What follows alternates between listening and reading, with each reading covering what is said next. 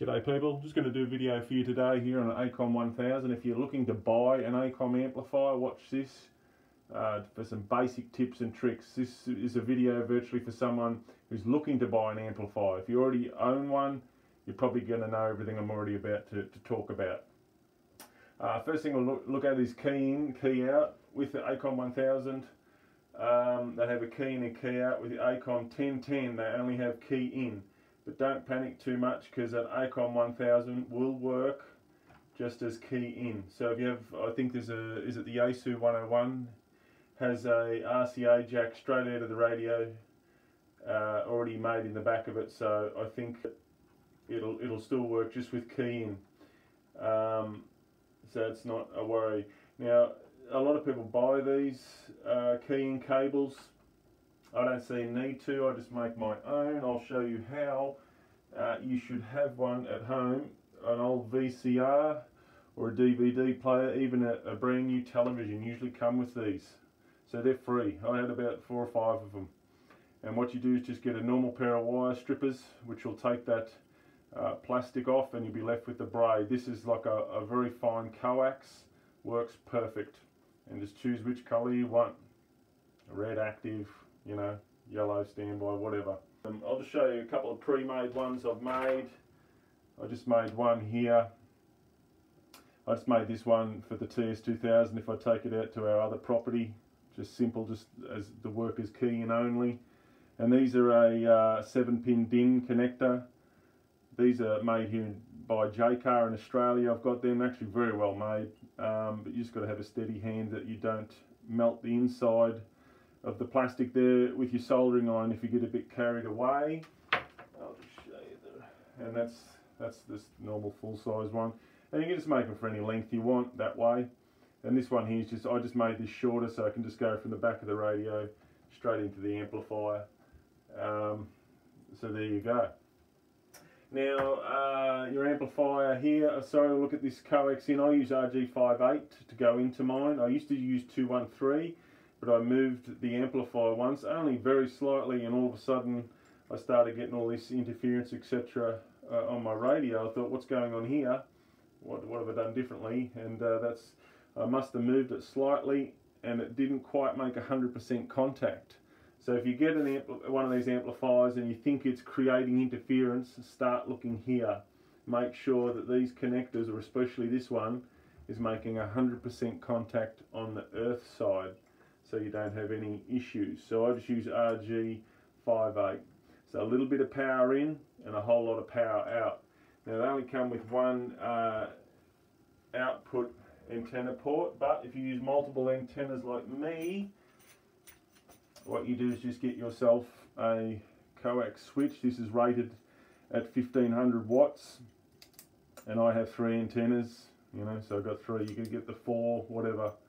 I think they even make a five nowadays. But I just run mine straight out of there into my low pass filter, which is rated at 1.5 kilowatt as well, because I'm in close proximity to my neighbours. Uh, so prevention's better than a cure. So I don't create any trouble uh, for them. Now, uh, what else can I tell you? Uh, sorry, also if you go to use it on 6 metres, the ACOM 1000 does 6 metres, the 1010 doesn't. The 1010 is just a HF rig. HF, sorry, amplifier. So if you go into your settings on your radio into your menu, it should have a HF uh, setting and a separate one for six meters. So bear in mind, make sure you activate that if you're going to use six meters. Power on, uh, that, that doesn't turn it on, it just gives it the power. Uh, it lights up the front, but I only leave my, I only switch it on when I use it really. Otherwise it's just switched off. I don't see the sense in leaving that on. Fuses just screw out. I've never had to undo them, so that won't be an issue. Um, earthing, I run about, this is about three or four mil of earth wire. It runs straight outside into its own earth stake into the ground and the transceivers are on separate earth stakes. So that's more than sufficient. Some people use braid and all sorts of different ideas uh, or run them all at one. But that's what I do, just three or four mil straight into its own earth stake. It's never really given any trouble. And you, and you want your ground not to be wet and mushy because uh, it won't work. It needs to be sort of dry ground, so it's it's got a uh, so your earth stake's got a chance to work properly. Um, so there you go. Uh, the power lead here, it comes without an end on it. So some dealers might put a plug on it before they send it to you, but expect one not to have one. And uh, here in Australia on 240 volts, I think there might be a setting inside for uh, for the European countries and and one here for Australia, but they'll set that in the factory. Sorry, the tubes. I'm going to talk about the tubes. Tube life is very important. So, um, to put it simply, if you're going to purchase an amplifier, you need to look at how much power you want to run. So, would you drive down in the drive down the freeway in your car, peak revving it as hard as the motor would? It's not going to last long, is it? Same with the tube. So, if you want to run, uh, you know, 1500 watts all day and all night, I'd be looking at the ACOM 2100. Um, and if you want to run a thousand watts continuously day and night, I'd be looking at the ACOM 1500. Uh, but here in Australia we have power limits, so this is just the ACOM 1000. It should last forever with our power limits here 400 watts. Um, I don't really use mine on digital modes. They can get quite hot on digital modes. I think I've used it a handful of times on uh, PSK and RTTY when that used to be a thing, not so much nowadays. Uh, so you do see some people put external fans on them.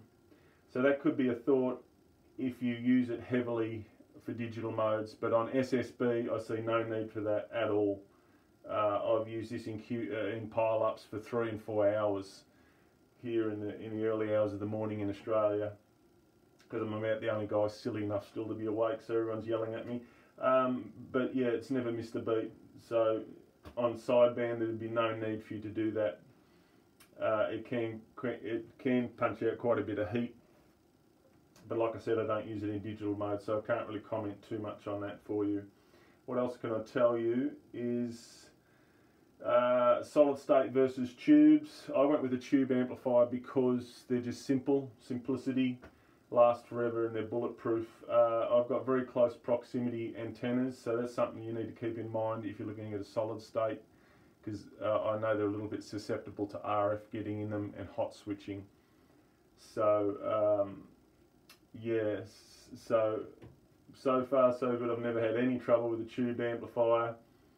They're just simple, they work, uh, trouble free.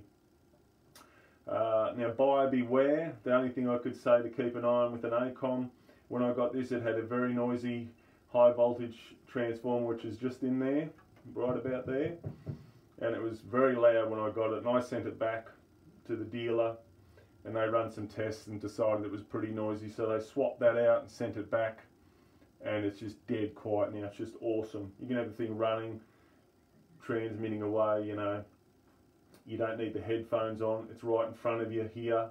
It's nice and quiet. It's just awesome. So that would be the only thing I would say, buyer beware, is just keep an eye on the uh, high voltage transformer in them. Some of them seem to be quite loud. Um, but outside of that, they're pretty much bulletproof. They're a pretty good bang for the buck. Well, certainly here in Australia. Um, and yeah, like I said, I've had this one three or four years a lot of people say, you know, you've got to replace the tubes and all that. I've never had a trouble with it. So hopefully that helps someone if you're thinking of buying one. Just some basic tips and tricks. Uh, obviously, I'm not going to show you tuning it up. There's endless videos on YouTube of that. Uh, so you've got plenty of resources to look at for people dropping carriers and, and showing you how they tune up. But I'll just thought I'd give you a video on just the basics um, to get you started if you're looking at one. 7.3. Thank you for watching.